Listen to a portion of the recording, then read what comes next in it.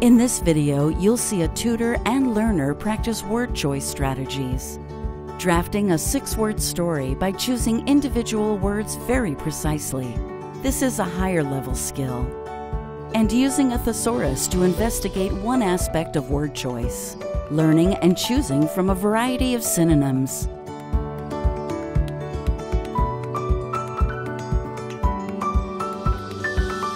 This video is divided into two chapters, with each chapter highlighting one of these strategies.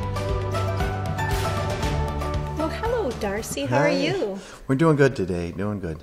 Staying busy. Are you? Yeah, How's softball going? It's a lot of fun. It, it? really is. Yeah, more than I would imagined. You know, I never really played much as a kid. You know, Uh-huh. but I'm really enjoying it now. Oh, I am so inspired by that. I'll, I, maybe I'll go join a league or something. I'd recommend it. Okay. Um, you know, today uh, we're going to try something a little bit off the wall, and we're going to see how it goes. All I right. thought you might enjoy it. All right.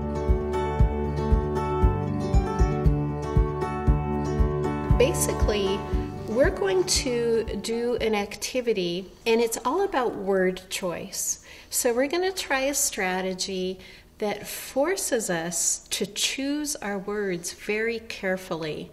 I think that a lot of times when we're practicing writing and spelling and sentence shapes and stuff like that, it always feels really good to write a lot and to write a lot more, right? Yeah. Like that's great. And this activity is a little bit of the opposite, where we're going to um, be very, very limited in the number of words that we use. And so for this, the good thing is going to be writing less and using fewer words, but picking those words so very carefully. Okay. So we'll see how that affects our writing outside of this activity. So we're going to be doing a strategy that it's out there. It's really you can find it on the internet and you can hear about it on the radio and it's kind of fun and they're called six-word memoirs. Um, do you know what a memoir is or if you think hear that word what does it make you think of? Uh, like some famous Hollywood person always writing their memoirs or something. And, and I imagine it's just, you know, their memories of what things were like, you know, as they came up or whatever. So that's what I think of when I think of memoirs. That's what it is.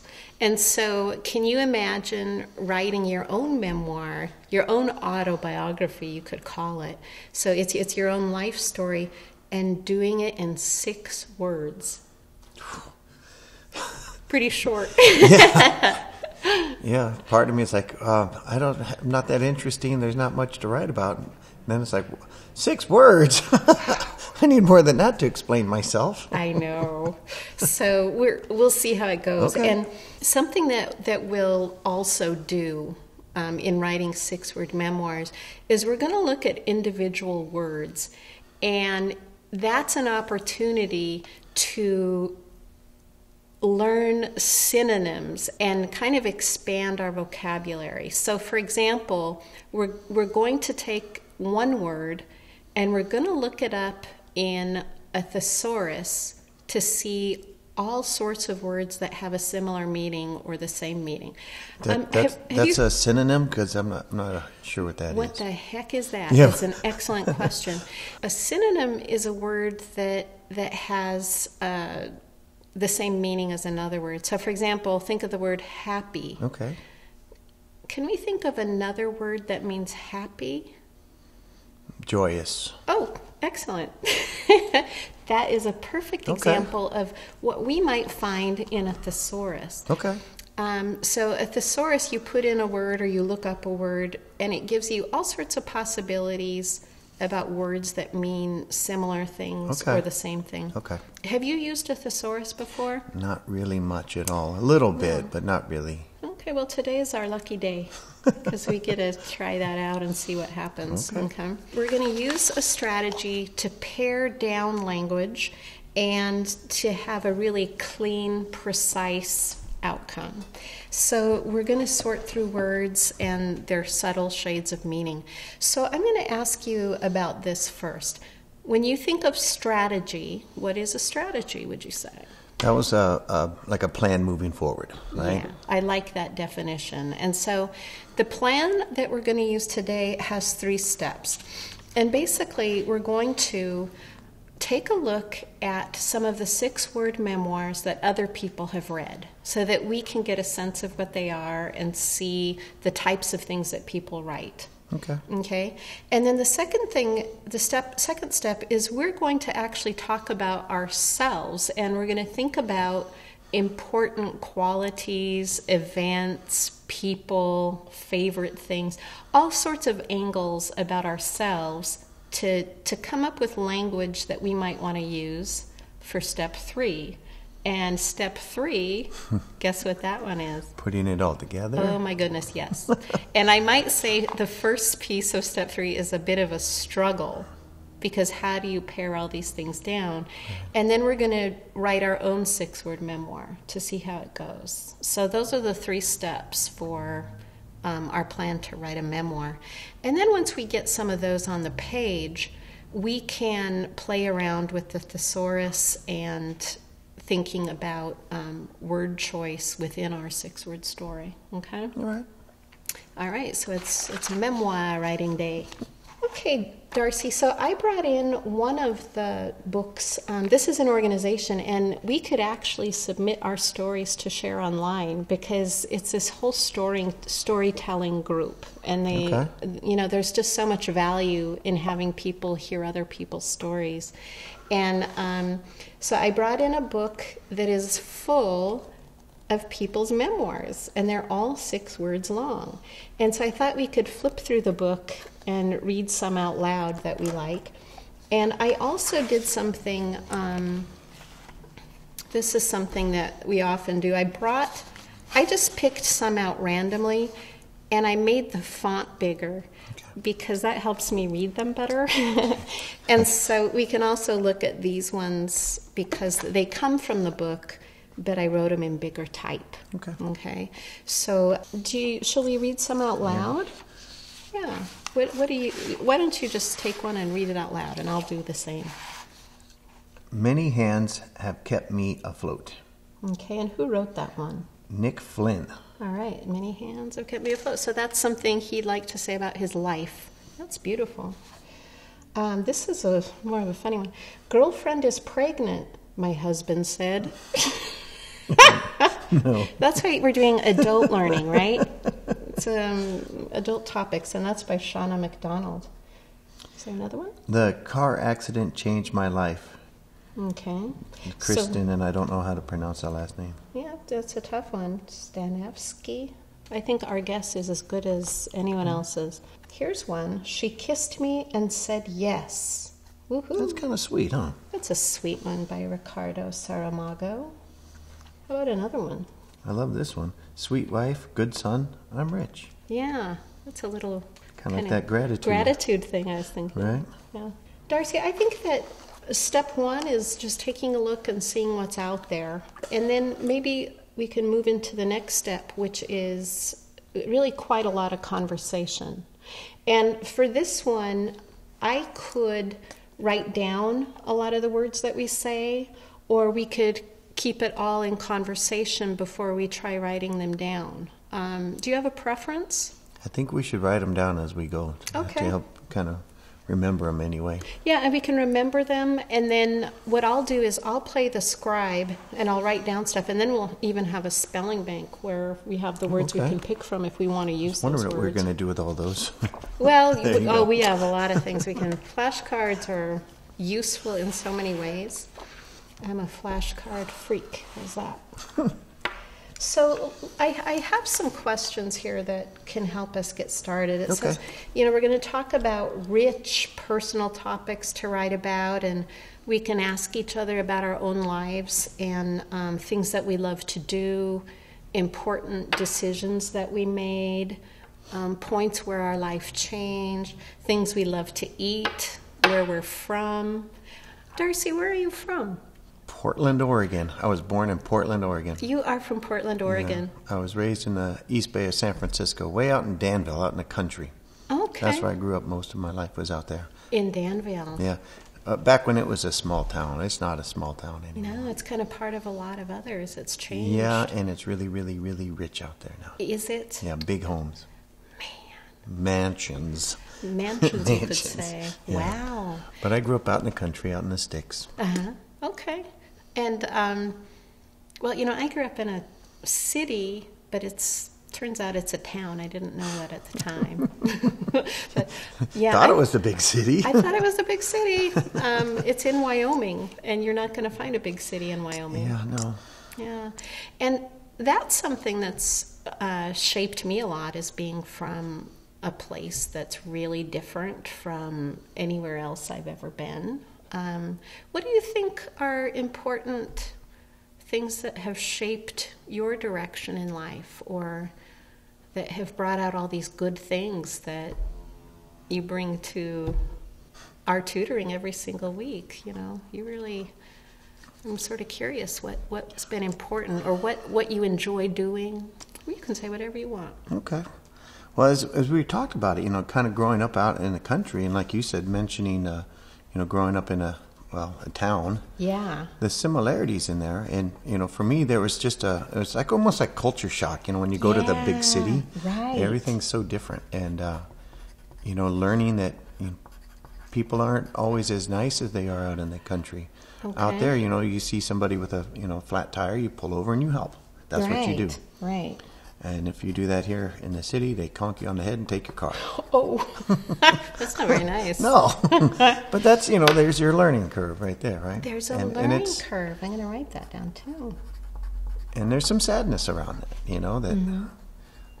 that we don't get that that interaction and that you know Mm-hmm. we get to help each other out. We're always on guard now, Okay. you know.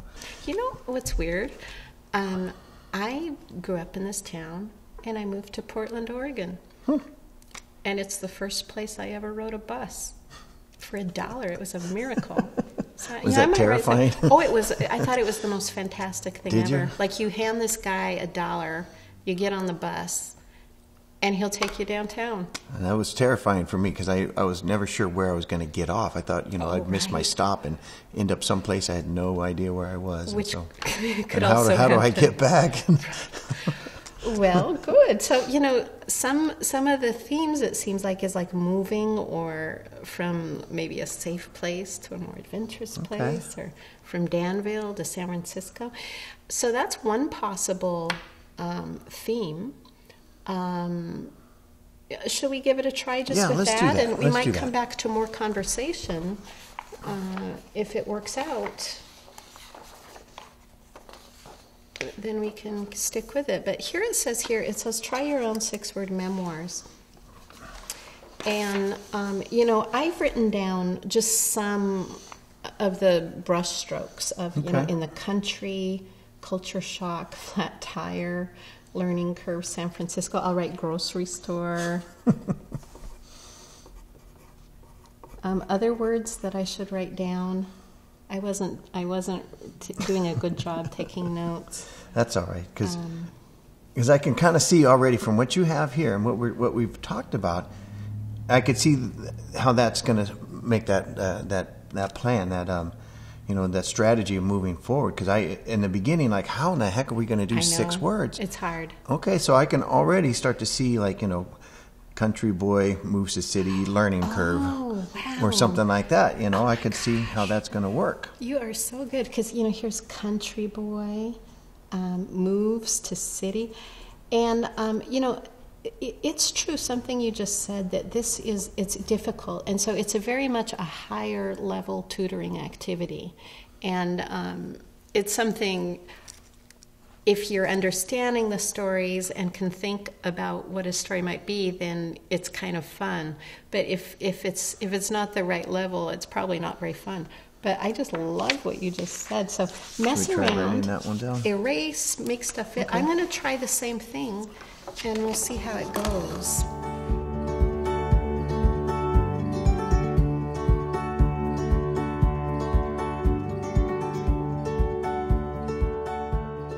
This. I said, moved from Wyoming, caught a bus. That's pretty good. What do you have so far? Country boy moves to city, learning curve. But that's more than six. Uh oh. So we're going to have to figure out how to get that smaller or make that, you know. Mm-hmm. So, Well, I'll tell you what, Darcy. Okay.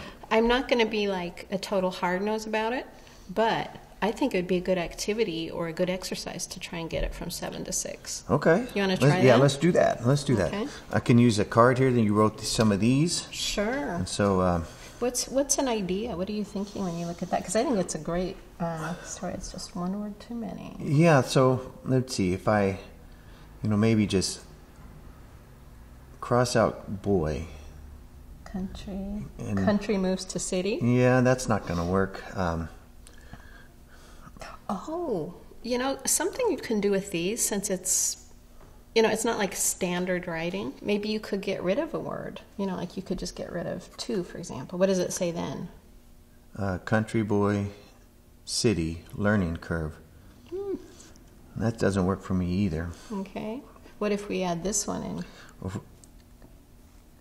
If I take out country, Uh-huh. just boy moves to city, learning curve. That's true.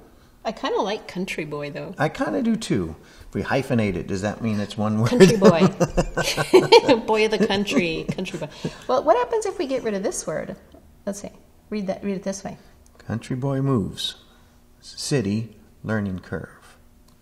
It's getting Okay. there. Getting there. I, Ooh, I don't I know what to tell you. What Let's do you go- think? let's go Do like another this. draft. Country boy to city, learning curve. There. Oh, I love it. That works for Read me. Read it again. Country boy to city, learning curve. Woohoo! I think that's totally publishable. That's kind of cool. Yeah. When we started, I'm like, how the heck we're going to do this? I couldn't see, I couldn't see the path forward. But your I strategy know. worked. Yeah. Talking about it, writing it down, writing down on the green card, you know, just the, some of the words and some of the ideas we talked about. Yeah. What'd you call it? Broad strokes. Something like Yeah, uh, that. with your- I think so. Yeah, and so that worked. That's kind of cool. Yeah. Because that does. It really does sum up a lot about me right there and some of the things Right I, you know, I went through. A kernel of your life right there. but you know, mine, I'm still not satisfied with it. I just want to experiment with the next line. And do you want to try another version and then pick the one you like the best? Okay. See, what- see what comes up. Okay.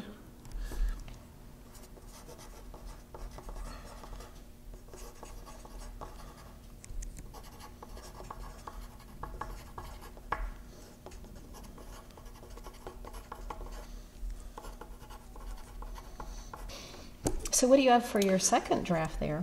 I did Country Boy to San Francisco Culture Shock. Oh, and we'll just put San Francisco like this on one. Well, yeah, because it's one word, right? San Francisco counts as one word, right? I mean, doesn't it? Sure. I think it does for this story. Okay. I put um, moved from Wyoming, public transportation epiphany. I love it. That's really cool. You know, I really like your culture shock thing. I love learning curve and I love culture shock.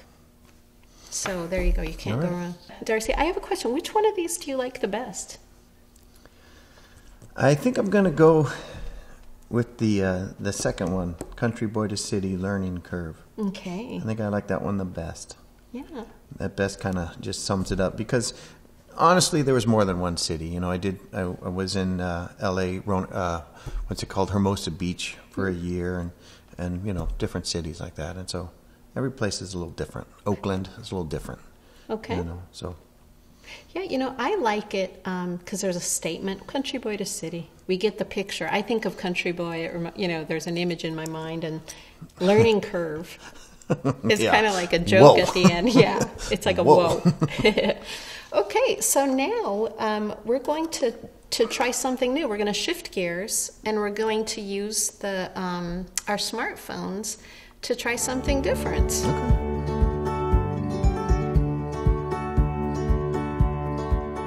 We're going to take a look at um, a thesaurus. So what I what I do is it's certainly not scientific, but I'll just yeah I'll just press on and do a search here, and at the top I enter thesaurus, and I think the most challenging part is spelling it. But there's a the in thesaurus, so it's T H E, And look, I just put in THE and thesaurus comes up. So then I just click on it here. So just spell So you went to your internet browser, Yeah. and I'm just going to do this. Thesaurus. Cool. I don't have to type anything. And look, we're on the same page. That's awesome. I love that. That's so smart. I'm going to have to learn how you did that. We've really pared down words and we've put together, I think, a really, it it says so much in so few words. We could look up the word city um, and see if there are other words that we might like to use. We could also enter country boy or learning curve and just see what it says. But go ahead and flip through city and and what does it say here? What's this? In Megala. intra intra urban megalopolitan. Megalopolis. Oh, megalopolis is good. Megalopolis. Okay. Municipal and urban. So, you know, these are all definitions of city. And uh, with this program, what you can do is you can click on any one of them and it will give you more words. Um, megalopolis.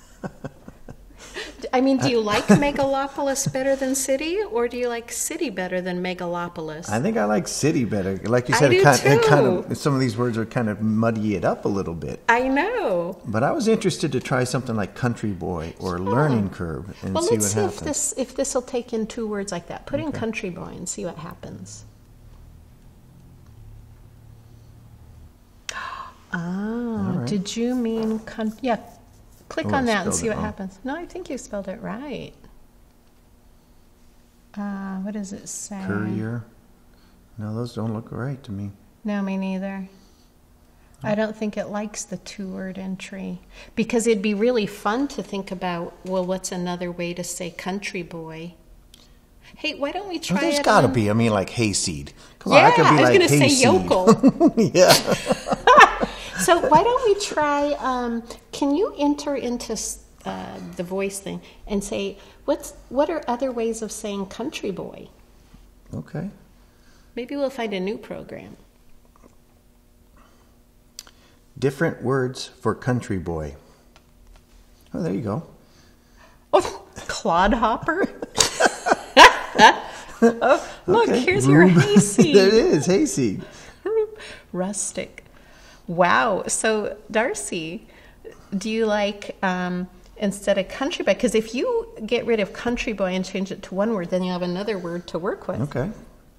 I don't even know if you're supposed to say that first word. Hillbilly? Yeah. that Is that I- bad? I, don't know. There might be people who are proud to be hillbillies, I guess. Exactly. Bumpkin. Um, bumpkin. Bumpkin. I could put that I on kind of like clodhopper. You know, we used to do dirt clod wars when I was a kid. We just throw dirt clods at each other because Well. we never had our Xboxes or anything. you just pick up dirt. I'll have to introduce that to my son. So I'm going to try that. You know, I might change um, into bumpkin here, but you use yours, and I'm going to try the word bumpkin now.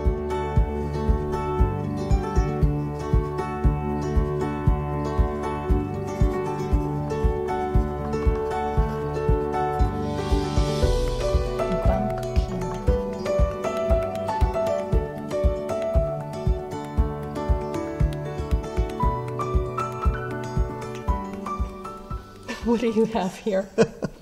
I found a use for that word. Okay. Clodhopper to megalopolis. Culture shock. Oh, I think that's pretty clever. Oh my goodness. but it's not, it's now I think it's just five words. One, two, three, five. Clodhopper to megalopolis megalopolis. Culture shock. It's five words, right? One. That's five. You cut it down even more. But isn't that hilarious? Yeah, maybe I could add the moves to. Yeah, I like how you're just adding on.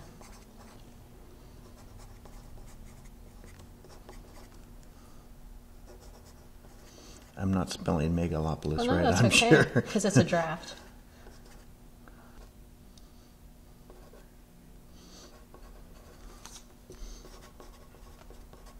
Okay, One, two, three, four, five, six, seven. wait a minute. Yeah, I'd get rid of that word too. There. So read your story. Clodhopper moves to megalopolis. Culture shock. That's pretty great. yeah, I like that. That's always like you know the newspaper headline. You know. It almost is, isn't it? Kind of like funny. the highlights. Yeah. So I wrote um, Wyoming bumpkin catches city bus. Epiphany. See I now don't know. that's actually a little bit more description descriptive than the first one you wrote. I kind of like that. Do you like that one? Yeah, because that bumpkin adds another kind of a, you know there's it's a little bit more rich. It's you know you kind of Yeah. describes that a little bit. That there's a naive what's the word naive Naivete. naive naivety Naivete. Yeah. Or, Yeah. um, a little yeah. it implies uh, that um, what's that word again? naivete. Yeah, naive. It sure Im- does. implies yeah that. You know, something we can do, Darcy, if you still have that amazing uh, site with all those words on it, um, what was the original word that we looked Uh, up? that was country, country boy, boy, or the term, yeah. So something you could do is you could write country boy here at the top, okay. and then, you know, this could be okay, here are three different words I could learn that I can insert when I want to use country boy. Maybe I want to use clodhopper or bumpkin or um, hayseed was Hayseed. another one. Aren't these great? So Okay. this can be something like um, a synonym, a synonym card, where we have not just one word, but now we have four words to choose from. The uh, you called it a like a word bank. Yeah, It's like that. yeah, exactly. Cinnamon, cinnamon, cinnamon. A synonym. I don't even know. I'm gonna mess it How up. do you say it? Synonym. Syn- synonym. Yeah, so it ends with nim. Synonym. That's a good one.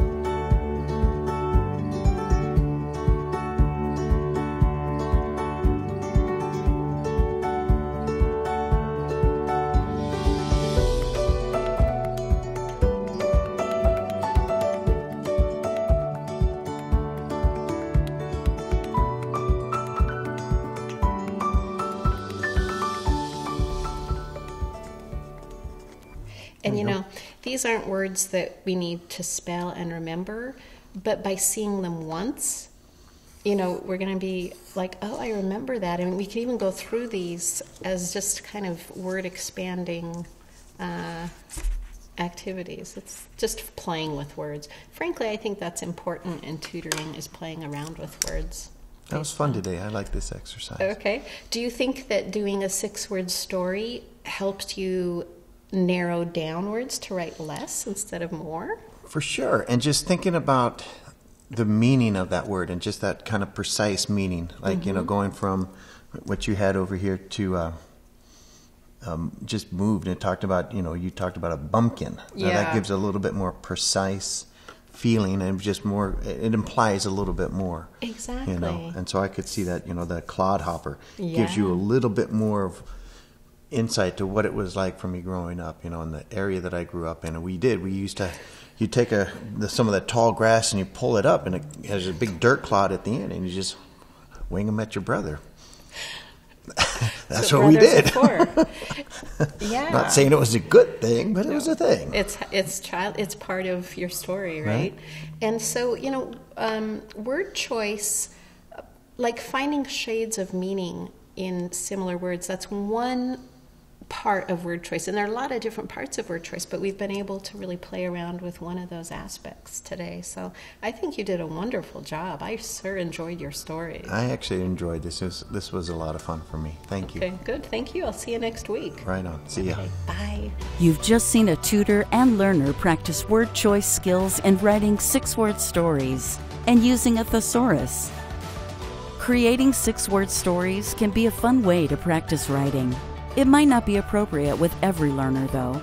Selecting individual words very precisely to write a story like this is challenging. And using a thesaurus to sift through synonyms with subtle shades of meaning is also a higher level skill.